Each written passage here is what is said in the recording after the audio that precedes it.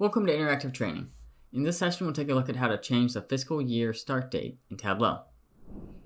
In this example, I'm showing sales from January 2023 to December 2024. But my fiscal year starts on March 1st, not January 1st.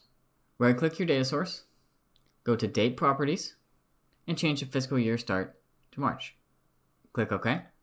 You'll see it hasn't changed yet.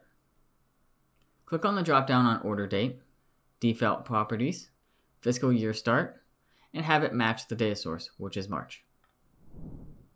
And you'll notice that my date now starts in March and ends in February. If you enjoyed this content, make sure to like and subscribe for more.